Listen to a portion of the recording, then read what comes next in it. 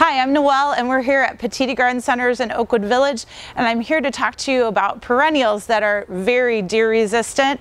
This is kind of our part two on perennial um, plants that are deer resistant and we've got some lovely color here that are also pollinator plants. So they kind of have those two purposes there.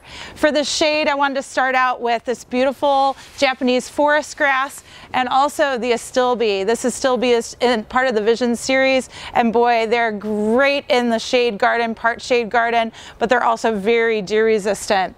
We have a beautiful tiny ears lamb's ear. This one's real cute, petite, looks great in any sunny garden.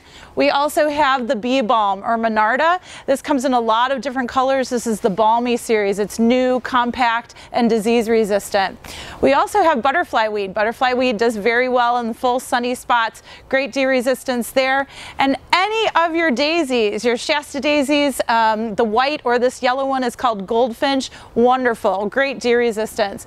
And then also this Russian sage in the back. Very aromatic, beautiful long bloomer, and great pollinator plant.